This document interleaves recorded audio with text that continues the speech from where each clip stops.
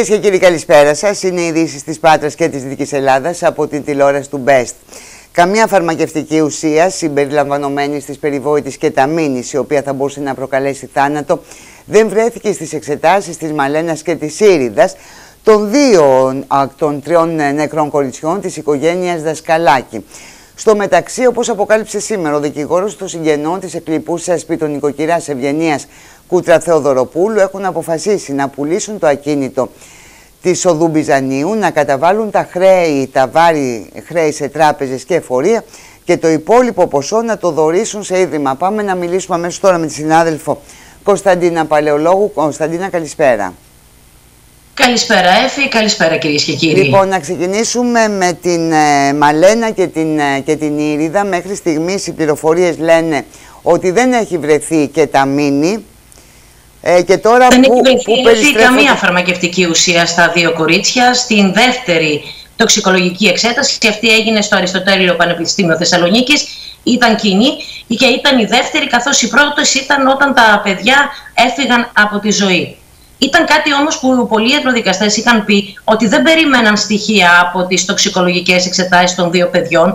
Επανέρχεται οπότε τις τελευταίες ώρες, συζητούν πολύ να βρουν βρήματα για ασφικτικό θάνατο, ενώ υπάρχουν στοιχεία, όπως λένε οι πληροφορίες, ότι υπάρχουν περισσότερα ευρήματα στην Ήριδα, το 7 μηνών βρέφος το οποίο έφυγε στο σπίτι του και εκεί θα εστιάσουν.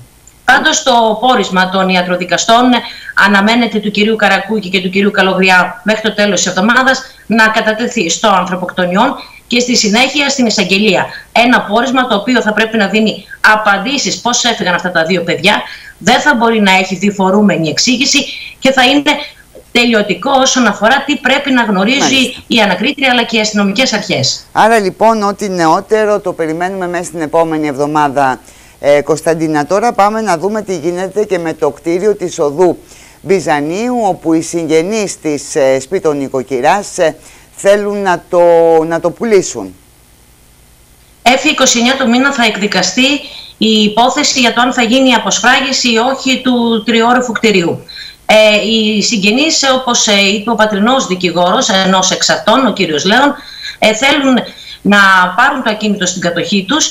Έχει βρεθεί ένας ιδιοκτήτης, ένας αγοραστής μάλλον, ε, περίπου στα 270.000 ευρώ το κοστολογούν. Από αυτά θα δώσουν, αν τελικά πουληθεί, 150 με 160.000 ευρώ που είναι τα χρέη και τα υπόλοιπα θα δοθούν σε φιλανθρωπικά ιδρύματα, όπως είπαν οι συγγενείς. Μένει όμως να δούμε την εκδίκαση της υπόθεσης, τις ημερομηνίες που θα ανακοινωθούν ενώ τις τελευταίες ώρες έχουμε και μία εξέλιξη στην 18η ανακρίτρια που είχε καταθέσει την προηγούμενη εβδομάδα ο κ. Μπουζιάννης, στο υπόμνημά του ζητούσε εκταφή της Τζορτζίνας. Η ανακρίτρια του ζητά συγκεκριμένα στοιχεία κατά πόσο δηλαδή αν γίνει εκταφή του παιδιού και πάρουν ε, από το τριχωτό της κεφαλής στοιχεία, αν αυτά θα έχουν στοιχεία ή αν ελπίζουν οι ιατροδικαστές ότι αυτά θα καθοδηγήσουν σε συγκεκριμένο δρόμο την υπόθεση. Εν αναμονή των εξελίξεων, λοιπόν, να σε ευχαριστήσω, Κωνσταντίνα. Καλή συνέχεια.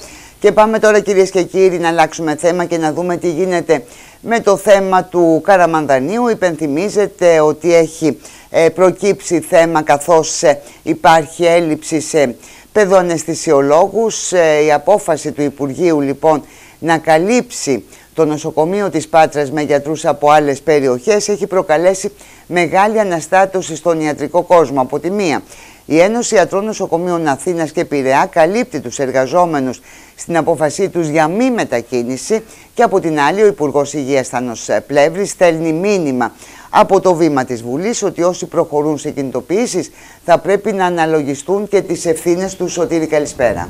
Ναι, καλησπέρα Έφη. Αναστάτωση ε... λοιπόν με φόντο τις δηλώσεις Πλεύρη για το Καραμανδάνιο. Ναι, είχαμε παρέμβαση σήμερα στη Βουλή μετά από σχετική ερώτηση που έκανε ο βουλευτής του Κομμουνιστικού Κόμματος Ελλάδας ε, στην Αχαΐα, ο Νίκος Καραθανασόπουλος. Ε, υπόθηκαν πάρα πολύ σημαντικά πράγματα, θα λέγαμε. Καταρχάς, σε πολιτικό επίπεδο, ο Υπουργός Υγείας ε, έκανε λόγο ανοιχτά για πολιτικό παιχνίδι που γίνεται γύρω από την υπόθεση του Καραμανδανίου. Ε, μάλιστα, στη δευτερολογία του, να σου αναφέρω χαρακτηριστικά, έφη, ε, κατηγόρησε ανοιχτά και τη Δημοτική Αρχή της Πάτρας, ε, στην οποία επέριψε την ευθύνη ότι ε, κάνει ε, πολιτικό παιχνίδι γύρω από το θέμα των τεσσάρων ε, αναισθησιολόγων οι οποίοι το τελευταίο διάστημα βγήκαν, όπως ξέρουμε πολύ καλά, σε αναρωτική άδεια. Αφήνει εχμές ο κύριος Έτσι. Πλεύρης. Ε, και επίσης ε, κατηγορεί και εμέσως, χωρίς όμως να το αναφέρει, και την Ένωση Νοσοκομιακών Ιατρών της Αττικής αυτή τη φορά, γιατί, γιατί ε, το, το σωματείο αυτό έφη βγήκε με ανακοίνωσή του και κάλυψε, ε, άφησε μάλλον να εννοηθεί ότι θα καλύψει ε, τους αναισθησιολόγους που ε, αναμένεται να μετακινηθούν από νοσοκομεία της Αθήνας για να έρθουν να καλύψουν τα κενά της ε, στο Καραμαδάνιο νοσοκομείο της Πάτρας. Να πούμε ότι η Ένωση ε, στην προηγούμενη Δευτέρα αποφάσισε να βάλει πλάτη ε, στην Καθομιλουμένη για τους παιδοναισθησιολόγου των νοσοκομείων Πέδων Αγίας Σοφία, Γλαία Κυριακού και Πέδων Πεντέλης σε περίπτωση που θα πάρουν εντέλεστε από τις διοικήσεις τους για να μετακινηθούν ε, στην Πάτρα. Ε, για να αντιμετωπιστεί προσωρινά το πρόβλημα της έλλειψης παιδοναισθησιολόγων. Να πούμε ότι ο κύριος Πλεύρης ε, είπε ότι ε, δεν θα υπάρξει τέτοια απόφαση, δηλαδή δεν θα δοθεί εντέλεσθε. Παρ' όλα αυτά τόνισε ότι ε, στις 17 Ιουνίου περίπου θα λυθεί το πρόβλημα και θα υπάρξουν γίνουν τότε οι μετακινήσεις των ε, παιδών αναισθησιολόγων προς το λοιπόν, Καραμαδάνιο νοσοκομείο. Άρα λοιπόν η κάλυψη θα γίνει με μετακινήσεις, ε, το...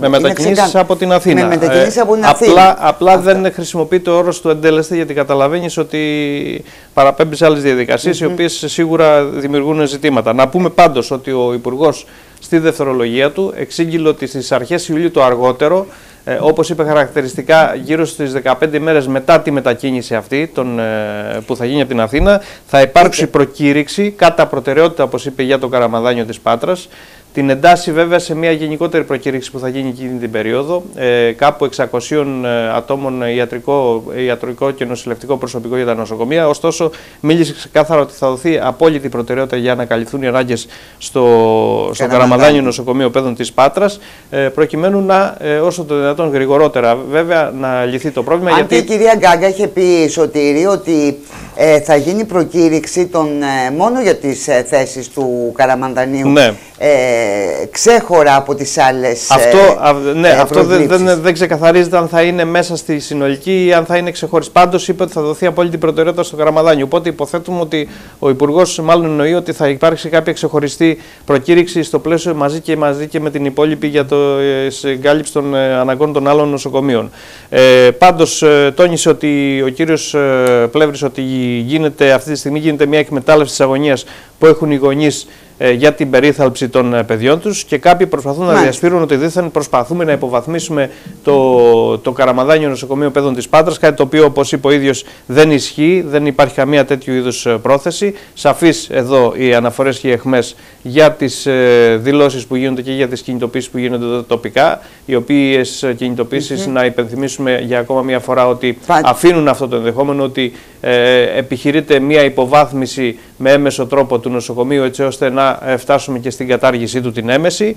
Ε, όσοι κάνουν κινητοποίησεις, τόνισε ο Υπουργός, ε, να αναλογιστούν και τις ευθύνες τους γιατί ήδη ανήκουν και στη διοίκηση του Καραμαδανίου. Εδώ οι αναφορές προφανώς στην πλευρά των εργαζομένων έτσι, ε, και των γιατρών ε, για τις κινητοποίησεις που γίνονται και τοπικά. Με, με μπαλώματα. Εμβαλωματικές ε, λύσεις προφανώς. Πάμε να καλύψουμε το, τα προβλήματα.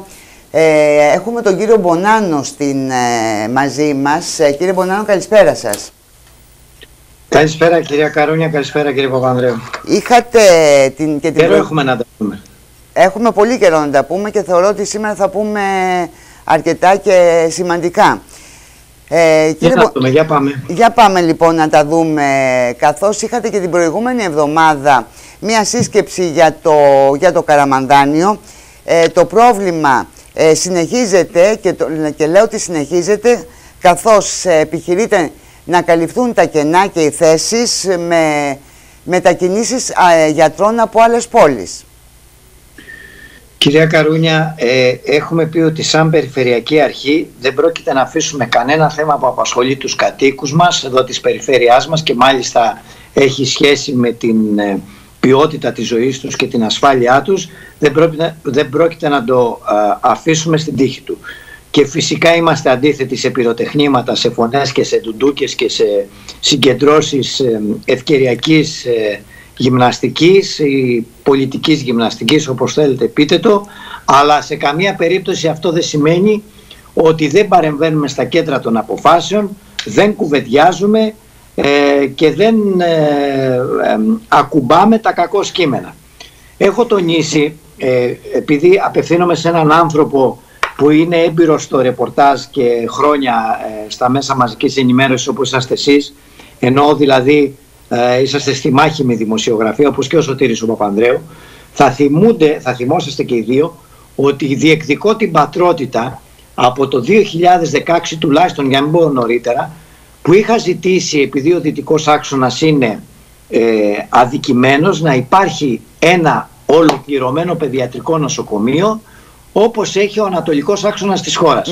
Αν δείτε το δυτικό άξονα από τα Γιάννα μέχρι την Καλαμάτα, ένα παιδιατρικό νοσοκομείο δεν έχουμε. Αυτό από το 2016 και το θυμόμαστε πάρα πολύ καλά κύριε Μπονάνο, ε, φτάνουμε όμως το 2022 και να, ε, και να μιλάμε για το αυτονόητο. Πολύ ωραία. Λοιπόν, ε, το είχα τονίσει τότε, μετά το υιοθέτησαν και άλλοι πολιτικοί ε, οι οποίοι ε, ζήτησαν και αυτοί να γίνει ένα παιδιατρικό νοσοκομείο, πρόσφατα και ο Ανδρέας ο Κατσανιώτης και πολύ καλά έκανε. Ε, θα σας έλεγα δε ότι αυτό το, πρέπει να, το, να είναι έτοιμα της πόλης και να το διεκδικεί με ένταση και με επίταση, αλλά αυτό δεν σημαίνει ότι μέχρι να φτιαχτεί ένα ολοκληρωμένο παιδιατρικό νοσοκομείο δεν πρέπει να λειτουργήσουν οι υπάρχουσες δομές. Εγώ λοιπόν επειδή είμαι άνθρωπος ο οποίος μου αρέσει ε, να α, διεκδικώ με παρησία και με συγκεκριμένα ε, θα έλεγα ντοκουμέντα το, το θέμα ε, της, ε, τα ζητήματα που μπαίνουν στην υγεία και φυσικά να μην ανοίγουμε χαρακόμματα και να μην ε, μπαίνουμε δηλαδή σε αντιπαλότητες αλλά να συνονοούμαστε και να ενώνουμε δυνάμεις είμαι με, με αυτή την άποψη, με αυτή τάσουμε πάντα είπα ότι το θέμα της κάλυψης των κενών του Καραμανδανίου και όπως τελικά μου το περιέγραψαν και ο Διευθυντής Ιατρικής Υπηρεσίας που είχαμε μαζί συνάντηση του καραμανδανιου και ο Βασίλης ο Αλεξόπουλος που είναι παιδοχειρουργός και πολύ καλός φίλος ε, και ο Γιώργος ο γραμματίκας, ο υπεύθυνος για τα ΤΕΠ του Καραμαδανίου, όπως το περιέγραψαν, δύο, νοσηλευ... δύο, ε, απε... ε, δύο αναισθησιολόγοι, πέδο αναισθησιολόγοι, θα έφευγαν από το Καραμαδάνιο, ήταν γνωστό, ο ένας συνταξιοδοτήτως σε ένα χρόνο και ο άλλος είχε δηλώσει δημόσια πλέον και στη διοίκηση ότι θα φύγει, θα συνταξιοδοτηθεί λίγο νωρίτερα. Άρα ε, γνωρίζανε ε, οι διοικούντες από πριν ότι εδώ πέρα, ε, όπως όλοι ξέρουμε σε κάθε υπηρεσία πότε φεύγουν, ότι δύο άτομα θα είχαμε δύο απώλειες στις θέσεις. Αυτές οι θέσεις λοιπόν κατά τη γνώμη μου, κατά την άποψή μου, έπρεπε ε, να είχαμε φροντίσει, να είχε φροντίσει το, το σύστημα όλο, το, το πυραμιδικό, το διοικητικό στον χώρο της υγείας, να είχαν προκηρυχθεί νωρίτερα. Το πρώτο το κρατάω αυτό. Το δεύτερο είναι ότι ε, πρέπει άμεσα θα έλεγα να συνονοηθούμε ότι εδώ πέρα δεν μπορούν να συνεχίζονται οι διαδρομές με τα στενοφόρα μεταξύ πανεπιστημιακού, πανεπιστημιακής κλινικής της παιδιατρικής και Καραμαδανίου και ούτε φυσικά προσέχτε το και αυτό να πηγαίνει ένα παιδάκι για στραβισμό παράδειγμα μια πολύ απλή χειρουργική επέμβαση να χρειάζεται να πηγαίνει στην Αθήνα. Άρα ε, άμεση κάλυψη με μόνιμο, μόνιμο επιστημονικό προσωπικό και παραιατρικό του Καραμανδανίου. Δεν το συζητάω αυτό. Ε, έπρεπε να έχει γίνει χτες. Αυτό όμως δεν σημαίνει ότι πρέπει να γίνεται αντικείμενο ε, για ψήφους στα θολά νερά, για συσπυρώσεις, για πανό κτλ. Διότι μην ξεχνάμε ότι υπάρχει ένα διοικητικό συμβούλιο Υπάρχουν άνθρωποι οι οποίοι μετέχουν σε αυτό το διοικητικό συμβούλιο και έπρεπε έγκαιρα θα έλεγα να είχαν κρούσει τον κόδωνα του κινδύνου ότι εδώ πέρα χάνουμε δύο πέδο αναισθησιολόγους και πρέπει άμεσα να αντικατασταθούν. Αν θυμάμαι καλά πάντως ε, κύριε Μπονάνο, ε, από την προηγούμενη χρονιά, από το 2021, οι εκπρόσωποι των, ε, των γιατρών, οι συνδικαλιστές, είχαν κρούσει τον κόδωνα του κινδύνου, είχαν κάνει κάποιες ενέργειες και με την έκτη ε, υγειονομική περιφέρεια είχαν ενημερώσει τον κύριο Καρβέλη για το τι πρόκειται να γίνει με το, με το θέμα των αναισθησιολόγων ε, ε και, και, και, τώρα πριν από, πριν από μερικές ημέρες, την προηγούμενη εβδομάδα έγινε αυτό το παμπατραϊκό συλλαλητήριο για το Καραμανδάνιο. Κυρία Καρούνια, ε, μου βάζετε δύσκολα με ποια έννοια. Ότι εγώ προσωπικά. Μα και, τα δύσκολα είστε εσείς, κύριε Μπονάνο. Ναι, και, και εδώ είναι προσωπική θέση και όχι θέση του Αντιπεριφερειάρχη Αχαΐας γιατί δεν έχω την εξουσιοδότηση να το συζητήσω. Το λέω σαν άνθρωπος που είμαι χρόνια στον χώρο της υγειας Ε, το έχουμε ξανακουβεντιάσει αλλά θα το πω ακόμα άλλη μια φορά ότι για μένα το σύστημα με τη ΣΥΠΕ, γενικά με τις υγειονομικές περιφέρειες δεν λειτουργεί σωστά. Μάλιστα. Ε, δεν λειτουργεί σωστά με την έννοια ότι είναι ένας γραφειοκρατικός μηχανισμός που απασχολεί αρκετό προσωπικό. Πολλοί από αυτούς είναι νοσηλευτές που μετατάχθηκαν και έγιναν mm διοικητικό προσωπικό.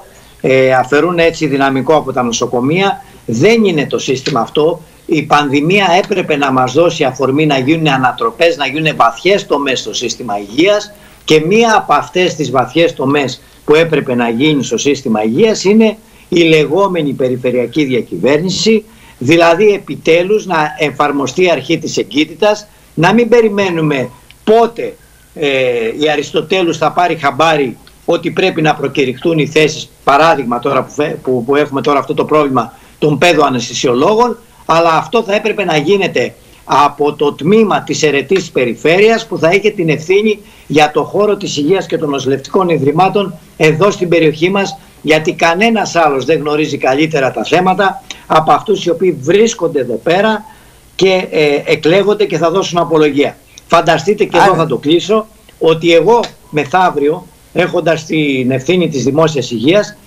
προφανώς θα κληθώ στην κάλπη να δώσω απολογία για ζητήματα στα οποία δεν έχω αρμοδιότητα. Δεν έχω αρμοδιότητα για το πώς λειτουργεί το καραμανδάνιο, δεν έχω αρμοδιότητα για το πώς λειτουργεί μια μονάδα φροντίδας ηλικιωμένων παράδειγμα. Έχουμε μεν την επιτήρηση, αλλά εμπλέκονται άλλοι δύο-τρεις φορείς. Γενικά θέλω να πω ότι επιτέλους θα σοβαρευτούμε ως κράτος, ας ακολουθήσουμε το παράδειγμα ε, των άλλων κρατών, των δυτικών κρατών. Δεν είναι κάτι, δεν ανακαλύψαμε ξαφνικά την πυρά όταν μιλάω για περιφερειακή διακυβέρνηση, όταν μιλάω για μίνι περιφερειακή κυβέρνηση εδώ στην περιφέρειά μας. Αυτό ψηφίζουν οι πολίτες. Ας υλοποιηθεί με αρμοδιότητες και πόρους ώστε να αποφύγουμε τέτοιες καταστάσεις για το ποιος ευθύνεται, που έφυγε το χαρτί, σε ποιο πήγε, πήγε από την ΥΠΕ, από την ΥΠΕ πήγε στο Υπουργείο, έφτασε στο Υπουργείο ή δεν έφτασε και πότε πληροφορήθηκε παράδειγμα η κυρία Γκάγκα ότι εδώ πέρα υπάρχει πρόβλημα με τους παιδοαναισθησιολόγους. Λοιπόν, αυτά είναι... είναι αστεία πράγματα τα οποία πρέπει να τελειώνουμε. Ε, έτσι όπως έχει εξελιχθεί το θέμα τώρα, είστε αισιόδοξος, ε, κύριε Μπονάνο; Κοιτάξτε, ε, ε, έτσι όπως έχει εξελιχθεί το θέμα, ε, οι λύσεις είναι συγκεκριμένες, είτε με, θα έλεγα, με συναδέλφους οι οποίοι έρχονται από την Αθήνα για να καλύψουν ένα χρονικό διάστημα μέχρι να ολοκληρωθεί η προκήρυξη των θέσεων, οι κρίσεις κτλ. που θα μας πάρει τουλάχιστον κανένα τρίμηνο αυτό. Ε, σε αυτό το διάστημα, μπορεί και λιγότερο βέβαια με τις νέες διαδικασίες, αλλά σε αυτό το χρονικό διάστημα μόνο με μετακινήσεις. Αλλά να τονίσω και κάτι άλλο. Μόνο που οι μετακινήσεις δεν λύνουν το πρόβλημα. γιατί... Οι συνάδελφοί μου, επειδή το βλέπω, δεν είναι βαλιτσάκια να τους μεταφέρουμε δεξιά-αριστερά. Γιατί έχουμε και αυτό το φαινόμενο τώρα. Ε, να υπάρχει μόχλευση της πρωτοβάθμιας με την τριτοβάθμια. Ξαφνικά γιατρός της πρωτοβάθμιας καλείται, τον παίρνουμε από το κέντρο υγείας και τον πηγαίνουμε σε κάποιο νοσοκομείο να εφημερεύσει. Άλλος τραγέλαφος από εκεί. Ο γιατρός πρωτοβάθμιας, ο οποίος έχει να πατήσει σε νοσοκομείο από τότε που έκανε ειδικότητα 30 χρόνια, καλείται να καλύψει μια εφημερία ενός νοσοκομείου που ούτε καν γνωρίζει. Για ακόμη μια φορά αυτό που μπορούμε να πούμε είναι ότι νοσεί βαριά το σύστημα υγείας ε, και θα πρέπει να ληφθούν ε, γενναίες αποφάσεις αν θέλουμε να μιλάμε για δημόσια ε, υγεία ε, σοβαρή. Η πανδημία μας δίδαξε ένα πράγμα, ότι είναι ώρα να δώσουμε βάρος στη δημόσια υγεία, το πρώτο αυτό, με ό,τι αυτό συνεπάγεται, με στελέχωση, με εξειδίκευση, με αρμοδιότητες στις περιφέρειες, το ξανατονίζω στις αιρετές. Και το δεύτερο, ότι πρέπει επιτέλους, μα επιτέλους, να αποκτήσει μια σοβαρή πρωτοβάθμια περίθαλψη η χώρα μας την οποία δεν την έχει. Μάλιστα. Και η οποία φάνηκε και στην πανδημία. Τα είπατε όλα κύριε Μπονάνο, όμως με την ευκαιρία που, που σας έχουμε εδώ μαζί μας, ακόμη ένα θέμα καθώς σήμερα στο γραφείο σας έγινε μια σύσκεψη σε σχέση με τις παρεμβάσεις που γίνονται στην Εθνική Οδό Πατρών ε, Πύργου στο ύψος της ε, Δυτικής Αχαΐας και κυρίως στο Γομοστό όπου εκεί οι κάτοικοι ε, αντιδρούν ε, καθώς δυσκολεύεται ιδιαίτερη η καθημερινότητά τους σε, σε σχέση με τις μετακινήσεις λόγω της τοποθέτησης των κορινών. Ε, είχα πει ότι αυτή η περιφερειακή αρχή δεν αφήνει τίποτα στην τύχη, του, στην τύχη της από θέματα και ιδιαίτερα ζητήματα τα οποία αφορούν την καθημερινότητα των πολιτών αλλά και την ασφάλεια φυσικά. Ε, εμείς είμαστε αυτοί πρώτοι ε, που ζητήσαμε από το Υπουργείο να γίνουν παρεμβάσεις μετά από μελέτη, μετά από μελέτη το τονίζω αυτό, στο, στο δρόμο αυτό, την Καρμανιόλα αυτή που έχουμε θρυνήσει αρκετά θύματα πατρών πύργου, διότι θα συνεχίζει να χρησιμοποιείται μέχρι να γίνει ο αυτοκινητόδρομος. Δηλαδή θα συνεχίζει να χρησιμοποιείται και από τους διερχόμενους και από τους κατοίκους, ε, διότι ε, δεν υπάρχει άλλος δρόμος. Και ζητήσαμε να γίνουν τέτοιες παρεμβάσεις μετά από μελέτη. Όταν είδαμε ότι υπάρχουν προβλήματα, α, όπως πολύ σωστά είπατε, στο, που ανατρέπουν την καθημερινότητα των κατοίκων, ζητήσαμε και πρώτος ε, μαζί με τον Περιφερειάρχη, τον Εκτάριο Φαρμάκη, ε, επικοινωνήσαμε με το Υπουργείο Υποδομών και ζητήσαμε άμεσα να κατέβει ο Διευθυντής του Υπουργείου, ο, ο μελετητής και ο εργοταξιάρχης, αυτός που επιβλέπει τα έργα τέλος πάντων από την ανάδοχο εταιρεία, ώστε face to face, δηλαδή με τους εκπροσώπους τοπικής αυτοδιοίκησης και σήμερα στο γραφείο μου ήταν τρεις αντιδήμαρχοι, να θέσουν τα ζητήματα της καθημερινότητας και να βρούμε συγκεκριμένες λύσεις. Και ευτυχώς ε, βρήκαμε ανθρώπους οι οποίοι μας εξήγησαν, οι οποίοι κατανόησαν τα προβλήματα των ε, κατοίκων. Άρα λοιπόν οι ε, κάτοικοι έχουν δίκιο. θα αποκατασταθεί η επικοινωνία στο Γομοστό για παράδειγμα ε, ώστε να μπορούν από τη μία πλευρά και από την άλλη να περνάνε οι κάτοικοι με ασφάλεια βέβαια, με τον τρόπο με τον οποίο αυτοί θα επιλέξουν ενώ οι μελετητές και ο εργοταξιάρχης, φανάρια θα είναι, δεν ξέρω τι, θα είναι ε, και όπου υπάρχει οικισμός να υπάρχει επικοινωνία, παρακάτω, παρακάτω είναι το Βουπράσιο, ε, το Λάπα κτλ. Να υπάρχουν ε, στους οικισμούς αυτούς επικοινωνία εκατέρωθεν του δρόμου και το δεύτερο το οποίο ζητήσαμε και έγινε αποδεκτό οι υπάρχουσες στάσεις να μην καταργηθούν. Ο κόσμος έχει σοβαρό πρόβλημα τώρα, δεν σταματάει το κτέλ, σταματάει κάποια χιλιόμετρα μακριά ε, αυτό ήταν μέσα στη μελέτη για να μην αδικήσουμε και το μελετητή ότι αναβαθμίζεται μάλιστα η στάση διότι θα υπάρχει εσοχή στο δρόμο όπου υφίσταται τώρα αυτή τη στιγμή η στάση των κτέλ και αυτό θα υλοποιηθεί αλλά καταλαβαίνετε δεν γίνεται με κουμπάκι γίνονται έργα τα οποία μόλις ολοκληρωθούν θα αποκατασταθούν και οι στάσεις του κτέλ. Άρα λοιπόν βαίνει προς τη λύση του το θέμα αυτό και ε, Κλείνοντας, ε, θέλω να ε, πούμε κύριε Μπονάνο. Μπαίνει προς τη λύση του χωρίς να καταργούμε τις κορίνες. Προσέξτε το αυτό. Κανένας δεν έθεσε θέμα για κορίνες. Όχι, όχι, δεν έθεσε κάποια προβλήματα τα οποία ε, μπορούν να επιληθούν φυσικά με την καλή θέληση και την καλή διάθεση και του Υπουργείου και της ε, ε, αναδόχου εταιρείας. Ε, ικανοποιημένοι λοιπόν θα πρέπει να είναι και οι, και οι κάτοικοι οι οποίοι ε, έχουν δίκιο σε αυτή την περίπτωση που αναστατώθηκαν και αντέδρασαν. Κοιτάξτε, σε πολλά σημεία έχουν δίκιο. Ε, πραγματικά έχουν δίκιο σε πολλά σημεία. Βέβαια, μην ξεχνάμε ότι κάποιοι οποίοι έχουν συνηθίσει να βλέπουν τη διπλή γραμμή σαν μια ζωγραφιά στο δρόμο, ε, αυτό πρέπει να κατανοήσουμε ε, ότι αυτό... υπήρχε και πριν ότι αναστροφές στο δρόμο, ε, ότι η παραβίαση της διπλής γραμμής δεν επιτρέπεται. Συνεπώς, στα πλαίσια της νομιμότητας, στα πλαίσια της καλώς νοούμενης λειτουργικότητας των οικισμών και της ε, ε, θα έλεγα της επανόδου της καθημερινότητας των κατοίκων με προτεραιότητα την ασφάλεια ε, νομίζω ότι έχει βρεθεί χρυσή τομή ώστε να υλοποιηθεί ε, η λύση σε σύντομο χρονικό διάστημα. Να σε ευχαριστήσω πολύ κύριε Μπονάνο. Να είστε καλά. Καλό σας βράδυ, καλή συνέχεια. Γεια σας, γεια σας. Έτσι έχουν λοιπόν ε, τα πράγματα, μάλλον ε, λύνεται το, το πρόβλημα που αντιμετώπιζαν οι κάτοικοι στις μετακινήσεις τους κυρίως στο ε, στην περιοχή του Γομοστού. Θα περιμένουμε. Και όσον αφορά για το Καραμανδάνι όπως ακούσαμε τον κύριο Μπονάνο θα πρέπει να ληφθούν ε, κάποιες ε, αποφάσεις και να έχουμε μία σοβαρή πρωτοβάθμια φροντίδα και τα κενά στο Καραμανδάνιο να, να καλυφθούν με μόνιμες προσλήψεις. Και είπε μάλιστα ο κύριος Μπονάνος ε, ότι οι γιατροί δεν είναι βαλιτσάκια για να πηγαίνουν από τη μία πόλη στην άλλη. Αλλαγή θέματος και κλίματος, ενεργειακή αυτάρκεια για πάντα απέκτησε από χθες το ένα το Δημοτικό Σχολείο Πατρών στο συγκρότημα Γλαράκι. Χάρη στην τοποθέτηση πάνελ στην ταράτσα του κτηρίου, των οποίων η διασύνδεση έγινε χθες το πρωί, το σχολείο δεν δαπανά ούτε ευρώ για ηλεκτρική ενέργεια. Το αντίθετο, μάλιστα, προσφέρει ρεύμα στο δίκτυο του ΔΔΕ, συμβάλλοντας στην ενεργειακή αναβάθμιση που είναι και το ζητούμενο στις μέρες μας ο μετατροπέας Φρόνιου Σίμω, ο οποίος μεταφέρει, παίρνει την ενέργεια την ηλιακή, εδώ πέρα γίνεται η επεξεργασία και η μετατροπή σε ηλεκτρική, κατεβαίνει κάτω στο ρολόι και από εκεί μπαίνει στο κτίριο. Το μοναδικό σχολείο, το οποίο έχει ενεργειακή αυτάρκεια, είναι το ένατο δημοτικό σχολείο στο συγκρότημα Γλαράκι. Μια πρωτοβουλία που είχε ληφθεί πριν από 5 χρόνια και που τώρα επιβεβαιώνεται η χρησιμότητά της. Στο πλαίσιο της ενεργειακής αναβαθμίσεως του σχολείου μας, από ένα πρόγραμμα ΕΣΠΑ Περιφέρειας και Δήμου μισού εκατομμυρίου ευρώ. Ε, το τελείωμα ήταν να μπουν πάνελ παραγωγής ενέργειας για αυτονομία του κτηρίου ηλεκτρική και ε, μετατροπής της ηλιακής σε ηλεκτρική. Αυτά είναι τα πάνελ εδώ, τα οποία παράγουν 7.500 κιλοβατόρες ετησίως, ε, οι οποίες διοχετεύονται στο σύστημα του σχολείου μας ε, και όταν περισσεύει μπαίνει στο σύστημα της πόλης ε, και ακολούθως αν μας λείψει το παίρνουμε από εκεί δωρεάν.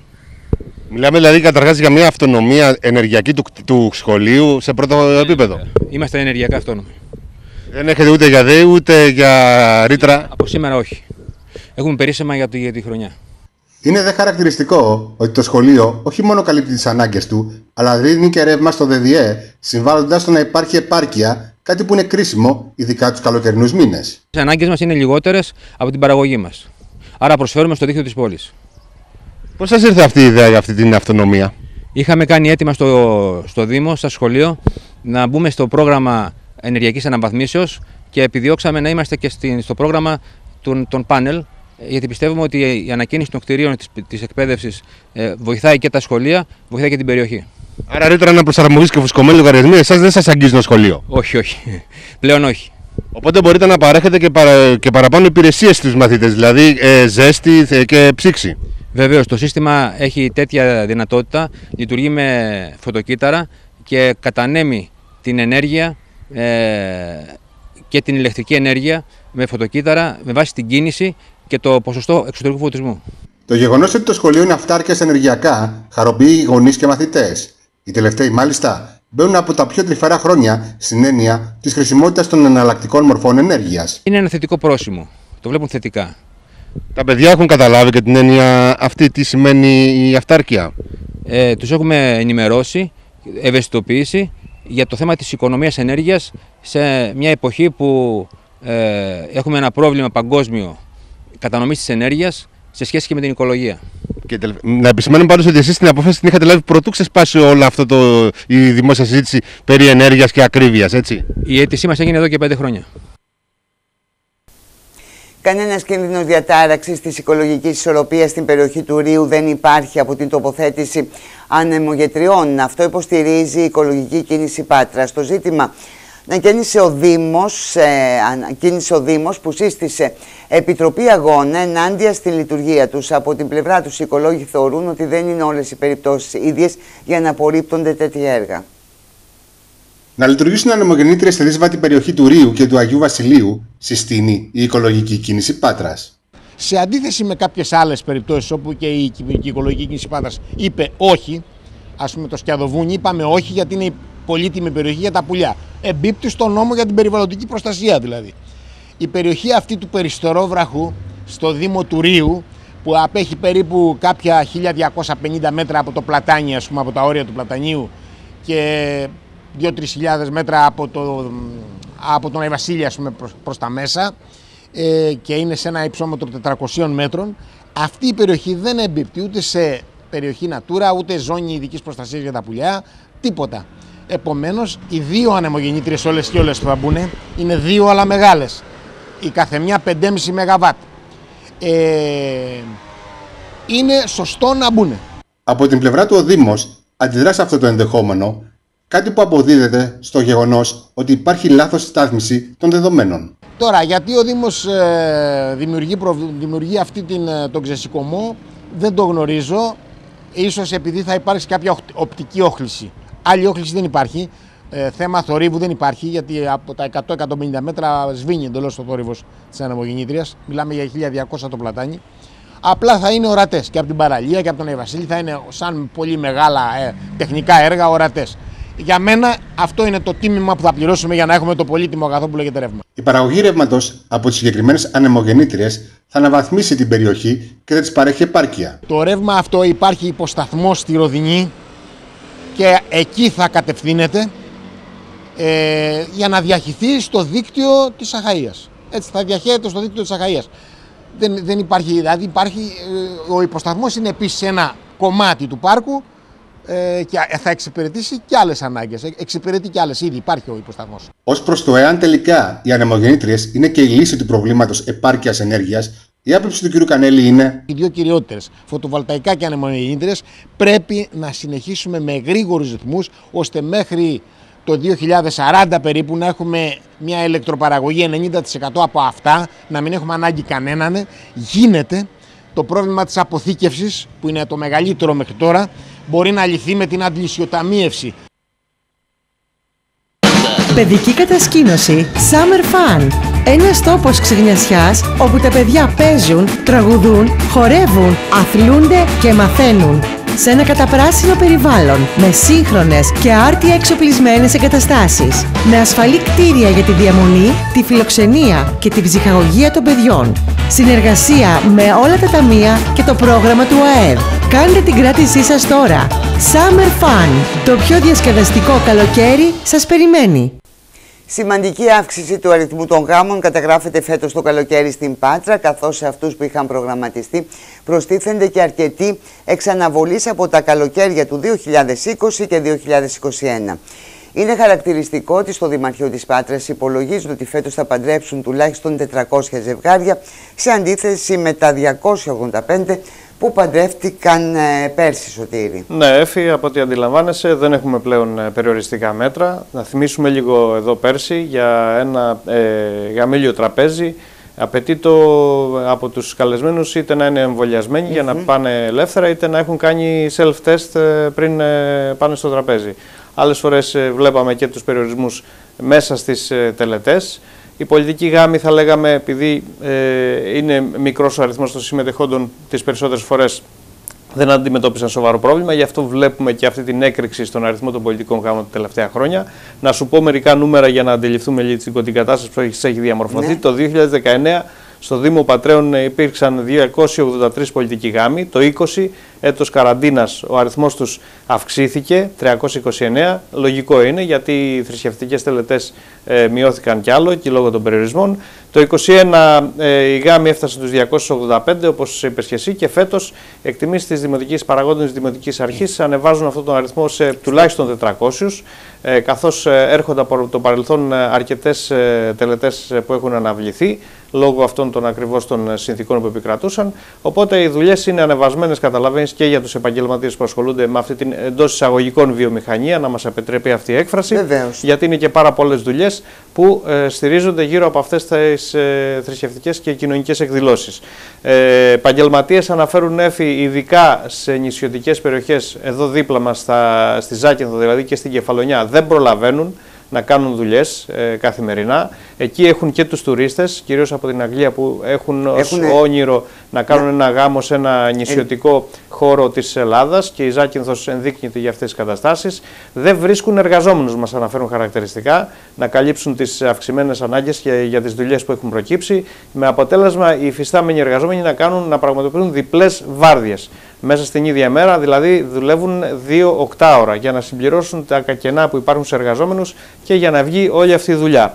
Επίσης να σου πω ότι ένα άλλο ζήτημα που έχει προκύψει, φέτος δεν έχουμε τους περιορισμούς του κορονοϊού, έχουμε όμως τη μεγάλη ακρίβεια της ανατιμήσεις. Αντιλαμβάνεσαι ότι το κοστολόγιο για μια τελετή γάμου είναι, ήταν ήδη αυξημένο πάρα πολύ το προηγούμενο διάστημα από τις καλές εποχές. Φαντάσου τώρα τι γίνεται με τις ανατιμήσεις που έχουν επέλθει στα καύσιμα, στα, στις πρώτες ύλες, στα σε τρόφιμα. Σε τι ποσοστά κυμαίνεται η η ανατίμηση σωτήρια. Οι ανατιμήσεις ε, ξέρουμε ότι επηρεάζουν, κυρίως, οι ανατιμήσεις επηρεάζουν κυρίως το, το γαμήλιο τραπέζι. Έτσι, Γιατί εκεί είναι και το σοβαρό, το, το πολύ μεγάλο το κόστος ε, για την υλοποίηση μιας ε, τελετής. Εκεί μας ανέφεραν επαγγελματίες του κλάδου ότι φέτος οι λίστες των καλεσμένων έχουν μειωθεί έφη κατά 30 με 40% και αυτό το εξηγούν από το γεγονός ότι προφανώς ο κόσμος προσπαθεί να μειώσει κόσμο ε, για να γλιτώσει έξοδα, να εξισορροπήσει δηλαδή αυτή τη μεγάλη αύξηση που έχει υπάρξει. Και επίσης τα τρία τελευταία χρόνια λόγω της απουσίας του, της κοινωνικής επαφής, δεν υπήρχε αυτή η κοινωνική επαφή, καταλαβαίνεις ότι έχουν μειωθεί και οι κοινωνικές υποχρεώσεις. Οπότε ο άλλος έχει και δεν έχει πλέον τόσο και μεγάλους ενδιασμούς να αφαιρέσει και κάποια με τα οποία ε, τα τελευταίο διάστημα λόγω του κορονοϊού δεν ερχόταν και σε ιδιαίτερη κοινωνική επαφή και σε συναναστροφή, οπότε μειώνει και έχει και μεγαλύτερο ε, χώρο να μειώσει στη, στη λίστα των καλεσμένων. Ε, βέβαια, να πούμε ότι υπάρχουν και πολλά προβλήματα που δημιουργούνται το τελευταίο διάστημα για τους ίδιους τους επαγγελματίες. Φαντάσου ένα εστιατόριο που έχει κλείσει ένα τραπέζι γάμου εδώ και τρει-τέσσερι μήνες. Γιατί συνήθως τόσο απαιτείται να κλείσει ένα τραπέζι και περισσότερο. Είχε κλείσει τιμές ε, για, το, για, κάθε άτομο, για παράδειγμα, στα 30-40 ευρώ και ξαφνικά το κοστολόγιο αυτού του καταστήματος έχει, έχει Εκεί ε, μας λένε οι επαγγελματίες έφυγε ότι προσπαθούν οι επαγγελματίες να, να απορροφήσουν ένα μέρος του κόστου. Ο βασικός σκοπός βέβαια είναι να μην ε, δημιουργήσουν αναταραχή και στον προγραμματισμό του ζευγαριού. Οπότε, αλλά υπάρχει και το θέμα της κάλυψης του κόστους. Εκεί υπάρχει μια διαπραγμάτευση τελευταίας στιγμή της στιγμής να μοιραστεί το, το αυξημένο κόστος, δηλαδή μισό να πάρει στην πλάτη του επιχειρηματίας και άλλο μισό να επιβαρυνθεί επιπλέον κάπως και το ζευγάρι για να καλυφθεί όλη αυτή η ζημιά. Γιατί αντιλαμβάνεσαι ότι έχει προκύψει μεγάλο χρονικό διάστημα, έχουν υπάρξει μεγάλες ανατιμήσεις στις πρώτες ύλες και όλα αυτά επιβαρύνουν σημαντικά το τελικό κόστος ε, της μιας ε, τελετής γάμου. Έτσι έχει εικόνα που διαμορφώνεται. Βλέπουμε ξαναζωντανεύει ε, όλη αυτή η κινητικότητα υπάρχει γύρω από, το, από, την, ε, από τις τελετές, τις γαμήλιες και τα βαπτίσεις ε, και όλα αυτά είναι οικονομία έφη, έτσι καταλαβαίνεις, ότι όλα αυτά τροφοδοτούν επαγγέλματα, ε, επιχειρηματικούς τζίρους και οικογενειακούς Πάντως προγραμματισμούς. Τα, τα ζευγάρια, οι, οι μελόνυμφοι προσπαθούν ε, να κάνουν το γάμο, αλλά με πολύ λιγότερα έξοδα. Κάνουν πολύ μεγάλες εκπτώσεις, ε, Σωτήρη, όχι μόνο στους καλεσμένους, αλλά ακόμη ακόμη δεν τηρούνται και όλα τα έθιμα. Προφανώς. Ε, οι καταστάσεις και οι εποχές είναι δύσκολες και ό,τι μπορεί ο καθένας κοιτάζει να ε, αφαιρέσει από το, αυτή τη μεγάλη λίστα των εξόδων που ξέρουμε πάρα πολύ καλά ότι υπάρχει στους, στους γάμους. Να σε ευχαριστήσω Σωτήρη. Τώρα πάμε να δούμε τι γίνεται στην ε, Πλάς κυρίες και κύριοι. Χωρίς ομπρέλες και ξύλινους πάγκους η περιοχή η παραλία της Πλάς παρότι ξεκίνησε η χρήση της εδώ και αρκετές ημέρες. Ο λόγος είναι η αντίδραση της κλιματικής υπηρεσίας του Δημοσίου. Ωστόσο, το γεγονός ότι οι λουόμενοι είναι αναγκασμένοι να φέρνουν δικά τους μέσα ήλιοπροστασία αλλά και καρέκλες προκαλεί μια ανεφλόγου ταλαιπωρία. Δυσαρεστημένοι οι λιόμενοι της πλάζ εξαιτίας έλλειψης καθισμάτων αλλά και ομπρελών και είναι αναγκασμένοι να κάθονται περιμετρικά στις σκιές που με φυσικό τρόπο υπάρχουν από τα αρμυρίκια. Καλό είναι να τα φέρω δίπλα να μου. Ε, να έχει ο κόσμος να κάθεται το βραδάκι, εντάξει.